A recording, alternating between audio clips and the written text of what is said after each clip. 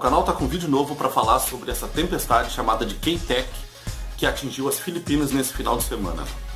Uh, mas antes eu quero lembrar, se tu curte aí os assuntos de clima, meteorologia, ciência, já te inscreve no canal, pode te inscrever na marca d'água que está ali no cantinho, ativa o sininho para receber as notificações, o canal está sempre em busca de notícias nessa área, tá? E se tu gostar do vídeo lá no final, dá o like lá para nós, comenta, compartilha, que tu vai estar tá ajudando a divulgação de clima e ciência de forma séria e sem sensacionalismo nesse país.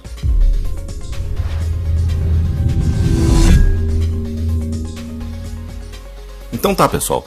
Uma forte tempestade batizada de K-Tech atingiu as Filipinas nesse final de semana.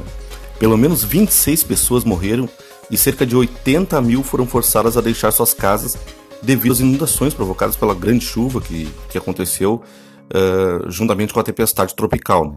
Foi no leste das Filipinas, tá? E segundo a agência de informações, ainda tem seis pessoas desaparecidas, né? O número de mortes aí no sábado era, 16, era de, do dia 16, né? Era de três pessoas. E no domingo já aumentou para 26, né?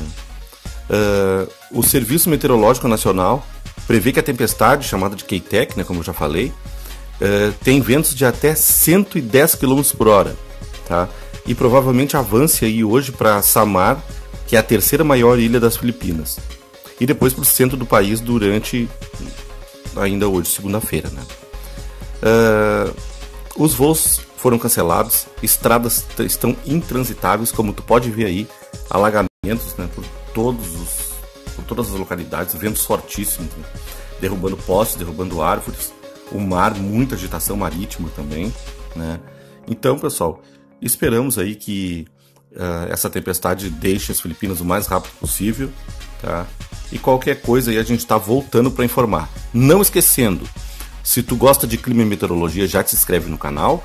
E se tu gostou do vídeo, deixa o like lá para nós, que é muito importante para a continuação dessa divulgação de ciência e de clima de forma séria e sem sensacionalismo nesse país. Valeu, continue curtindo o vídeo e até a próxima!